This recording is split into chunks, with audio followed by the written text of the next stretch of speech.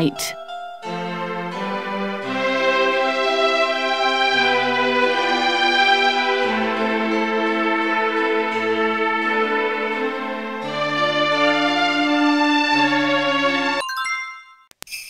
Long ago, there lived a beautiful queen.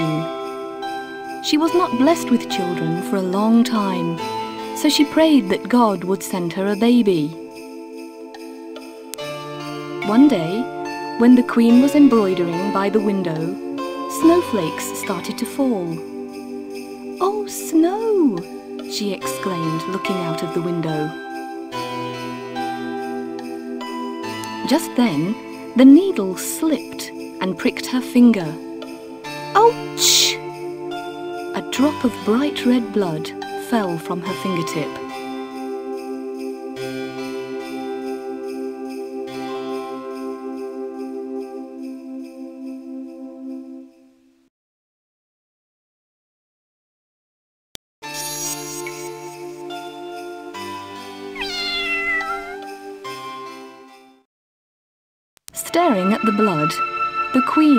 To God.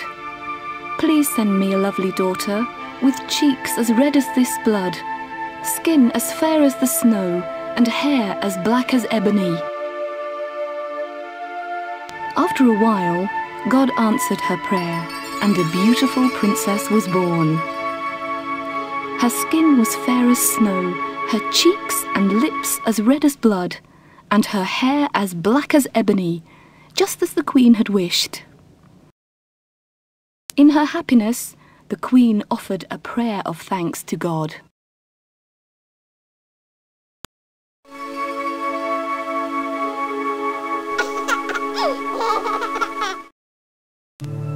The baby, named Snow White, was loved and cherished by the queen.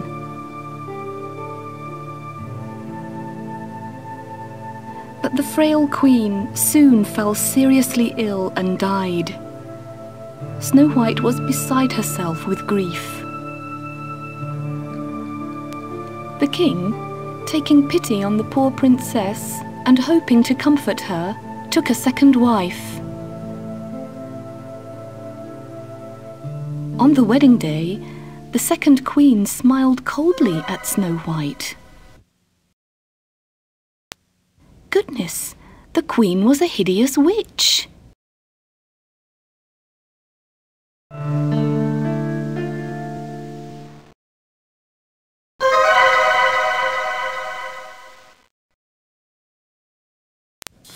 Loving her, the wicked queen was mean to Snow White behind the king's back. Despite this, Snow White grew healthily into a kind, beautiful princess. The flowers and birds in the castle garden were Snow White's only friends. The wicked queen hated the princess, who was growing more and more beautiful day by day, because she believed herself to be the fairest in the world.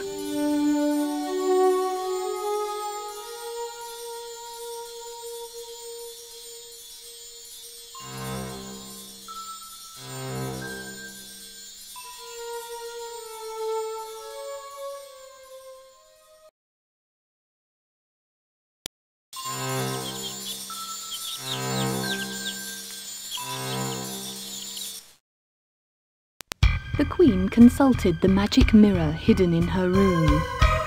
Magic mirror on the wall, who is the fairest of them all? I know it's me. But the mirror replied, No, you're not. Snow White is more fair than thee. What a horrible mirror! You always told me I was the fairest. I'm so ashamed cried the angry queen, kicking the mirror.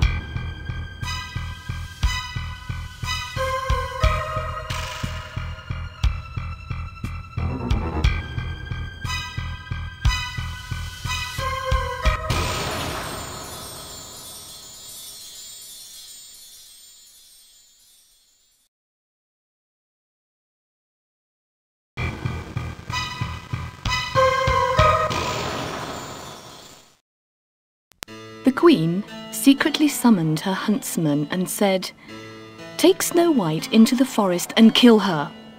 You know the penalty if you fail. And just to make sure that you do as I say, bring back her heart to me.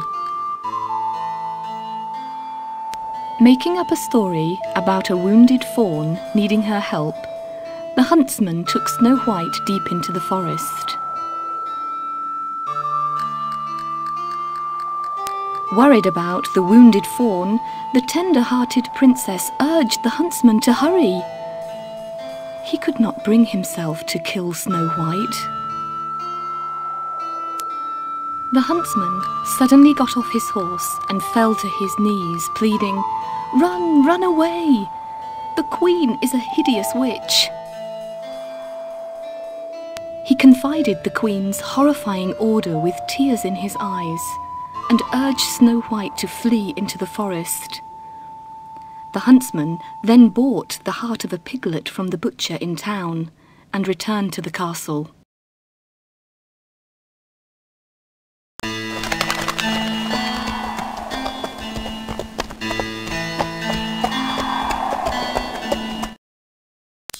I killed the princess as you ordered.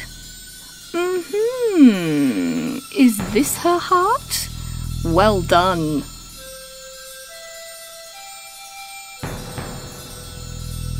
No sooner were the words out of her mouth than the queen cast a spell and turned the huntsman into stone to keep the secret. Snow White fled into the woods all alone. On and on she walked, trembling with fear.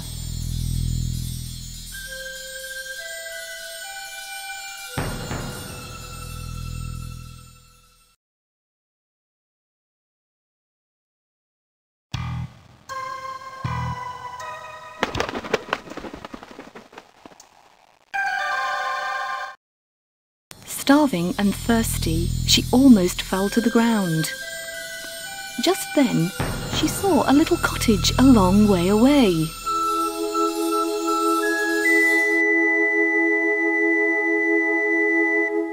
Oh, someone must live there.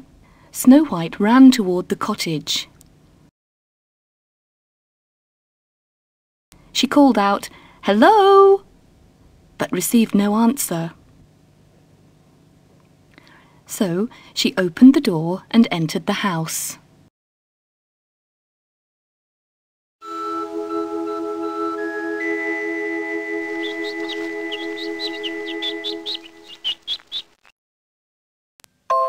Wow, what an adorable table! exclaimed Snow White. The table had dinner for seven. The starving princess took a bit of bread from each plate. And she fell asleep across the seven beds standing side by side. When the seven dwarfs returned, they were surprised to find Snow White sleeping across their beds. They stood there, feasting their eyes on the noble beauty of the princess. What a beautiful princess! They were fascinated by her beauty. Just then, Snow White awoke.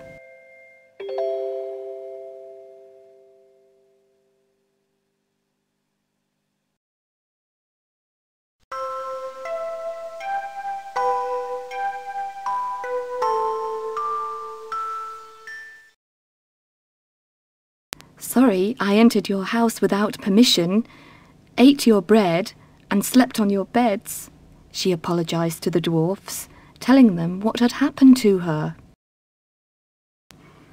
What an evil witch! We'll protect you. You must live secretly with us, said the dwarfs. Thank you, replied Snow White.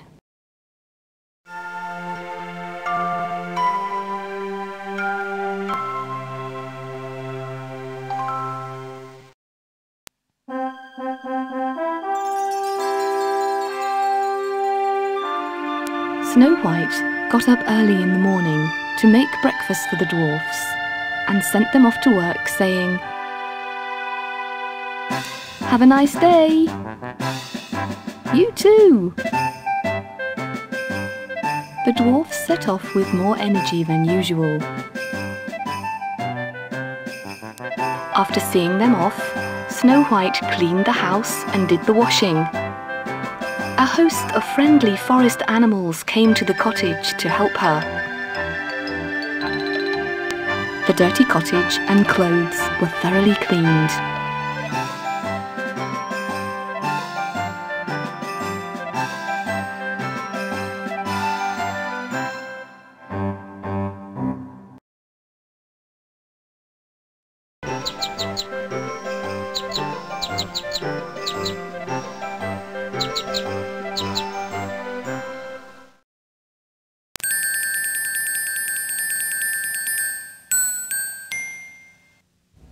For your help, everybody. It's time to have a snack. The forest animals were treated to delicious homemade cookies. Rabbits and fawns brought nuts in return for the treat. Thank you for having a welcome party for me. Picking flowers and braiding a necklace with them, Snow White sang a happy song, surrounded by the friendly animals.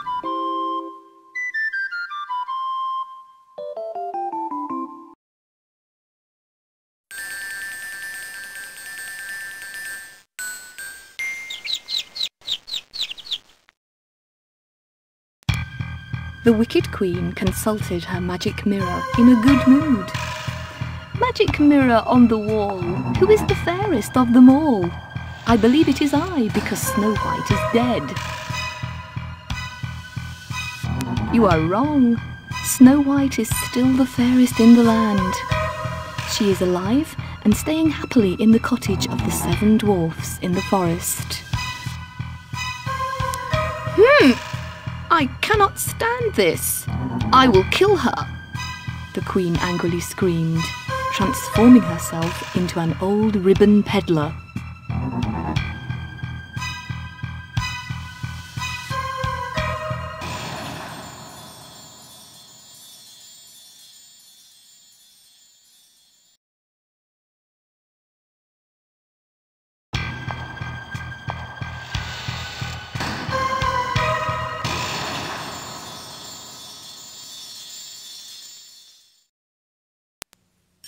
Queen went to the cottage where Snow White was living with the dwarfs.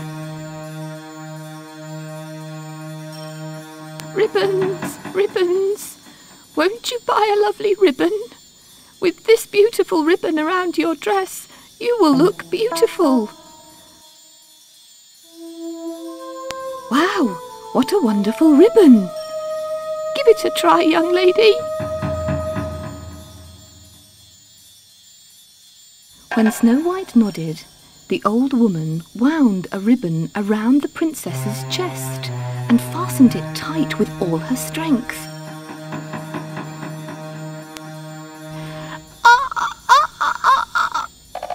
Snow White choked and fell to the ground.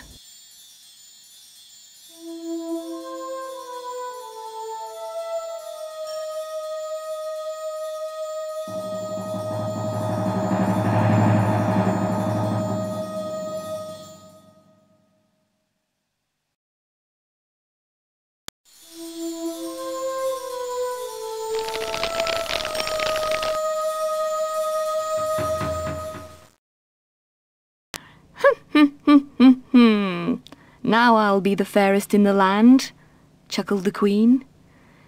Giggling happily, she went back to the castle. After a while, the seven dwarfs returned from work and were surprised to find Snow White lying on the floor. One of them saw the ribbon around her chest and cut it.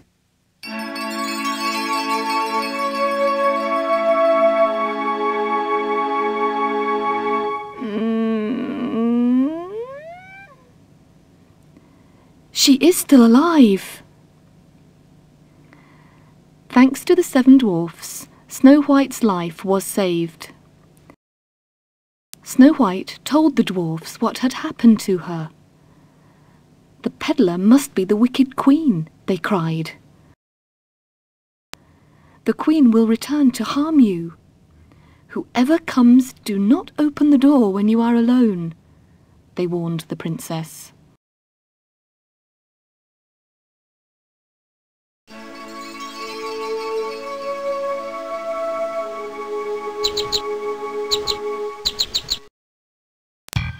Returning happily to the castle, the queen consulted her magic mirror again. Magic mirror on the wall, who is the fairest of them all? And the mirror replied, Certainly it is Snow White, in the cottage of the seven dwarfs. Ah, is she still alive? I will kill her with a poisoned apple.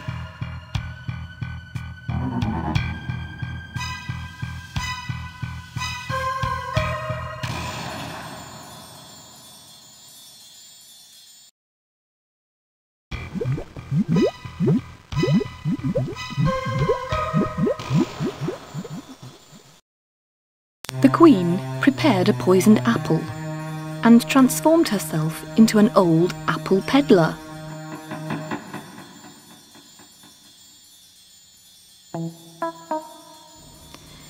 She appeared again at the house in the forest and cried out, Apples! Delicious apples! The voice tempted Snow White to open the window. Oh, beautiful young lady, why don't you take a bite of my apple? I'm sorry that an old person like you is peddling apples deep in the forest. I'll take some. The princess took the apple offered by the old peddler and bit into it.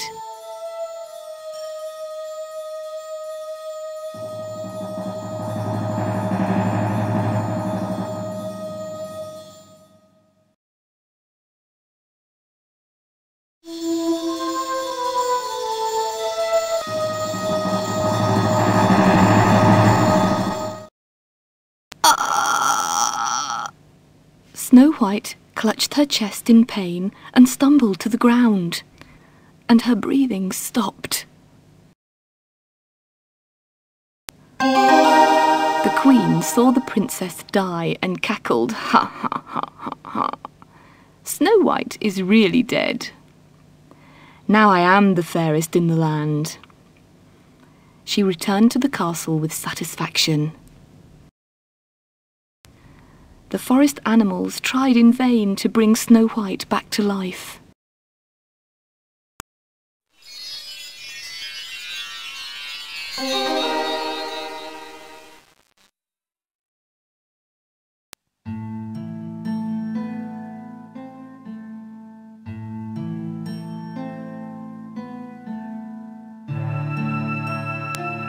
Surprised at the message brought by the birds, the seven dwarfs came home and did everything they could to revive Snow White, but she didn't come back to life. Oh, poor Snow White! The dwarfs and forest animals were heartbroken and cried all night. The dwarfs could not bear to bury the beautiful princess, and instead placed her in a glass coffin with flowers. And every day, as they knelt by her side, along with the forest animals and birds, they prayed. God, please bring her back to life again.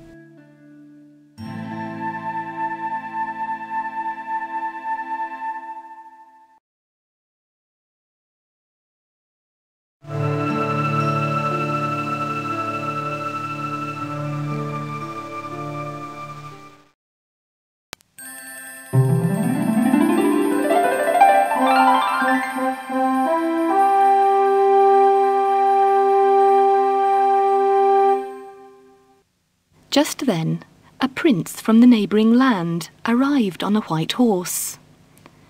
He saw Snow White sleeping in the glass coffin and was fascinated by her breathtaking beauty. What a beautiful princess! He asked the dwarfs, I'm begging you. I want this beautiful sleeping princess as my wife. Let me marry her. They shook their heads sadly. The princess is dead. She cannot be revived. Please forget about her.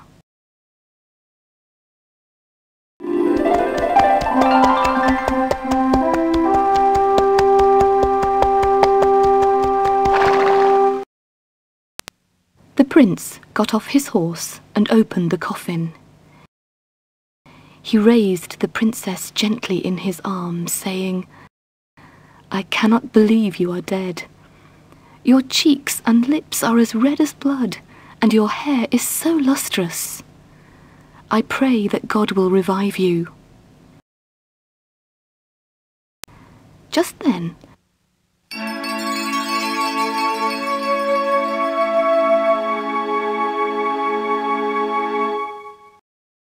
a piece of the poisoned apple fell out of Snow White's mouth. Oh, hum.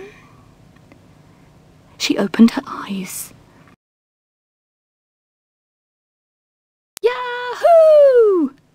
The princess has come back to life. The dwarfs shouted in joy.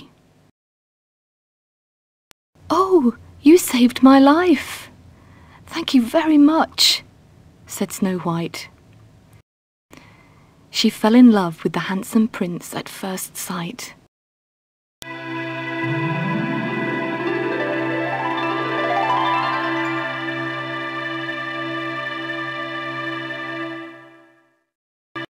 Will you marry me? Princess asked the prince. She answered, Yes, with pleasure.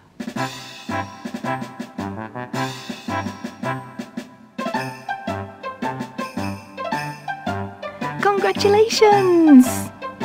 Jumping for joy, hand in hand, the dwarfs and forest animals congratulated the prince and princess. Snow White rode away with the prince toward the castle in the neighbouring land, where they would lead a happy life.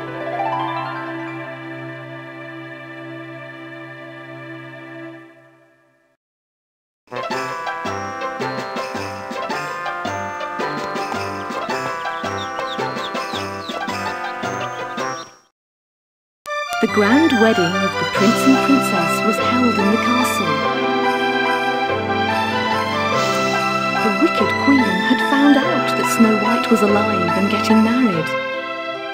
She left for the castle on her magic broom with a poisoned dagger in her hand.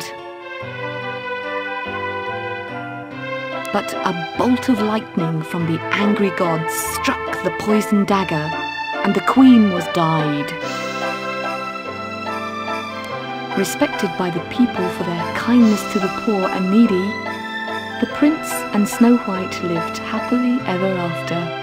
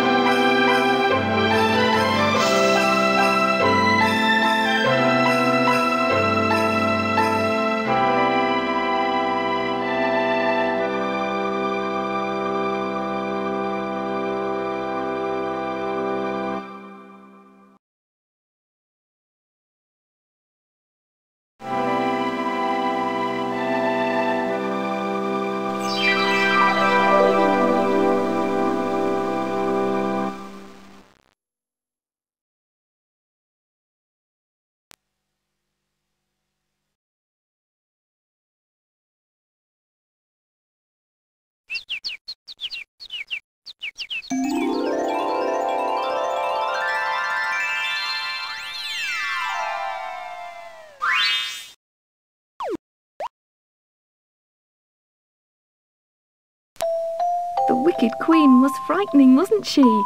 However good she makes herself look, she cannot be beautiful as long as she is wicked. If you are as kind as Snow White, you will be beautiful and loved by everyone.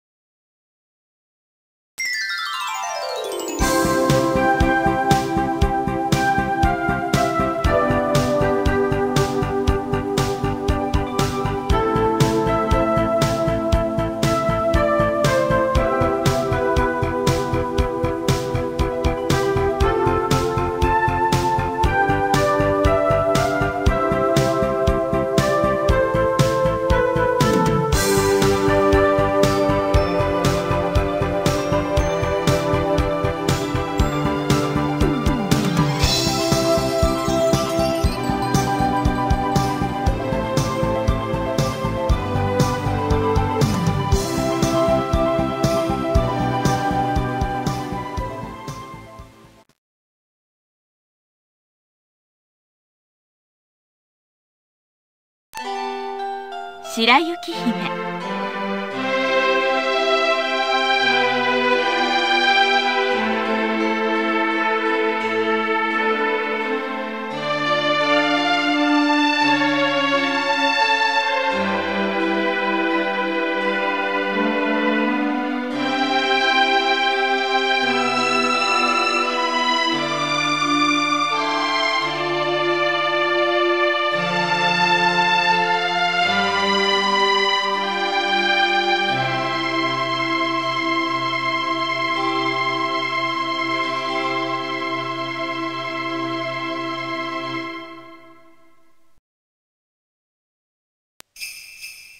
昔ある国にとても美しいお妃がおりました。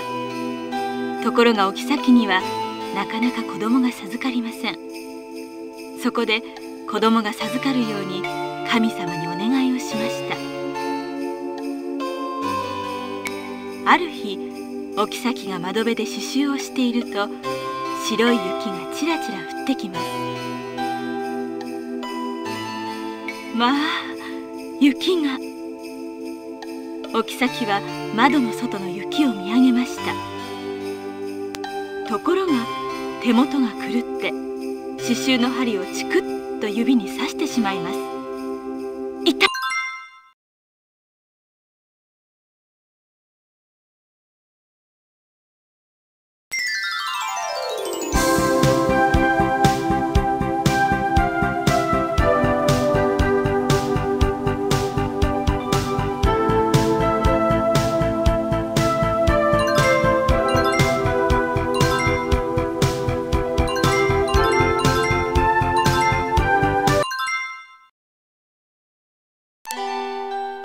白雪姫。